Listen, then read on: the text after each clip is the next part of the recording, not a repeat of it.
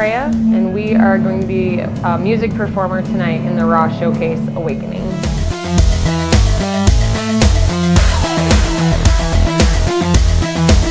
We all got together because we all wanted to not only make music, but make music that matters to people. We feel like music speaks to people more efficiently sometimes than you know maybe the rest of the media out there does, and we feel like it speaks to people on more of an emotional level rather than on an intellectual level sometimes.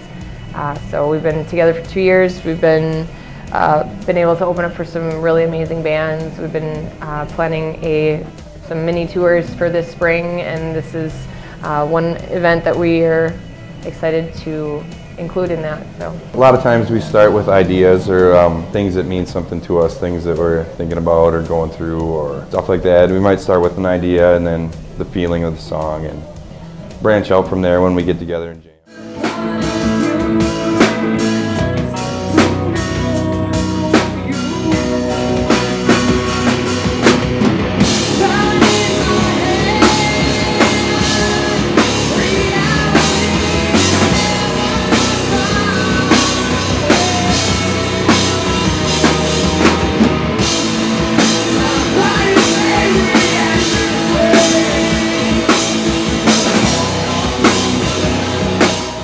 For us as a band, of course, is to speak to as many people as possible and get our message as widespread as we can. Um, we played in a ton of cities in uh, Wisconsin. This year, our goal is to get outside of Wisconsin and start getting into a more Midwest area. Um, we've been fortunate enough to get a lot of our music out across the country through Reverb Nation and, and through social media and things like that.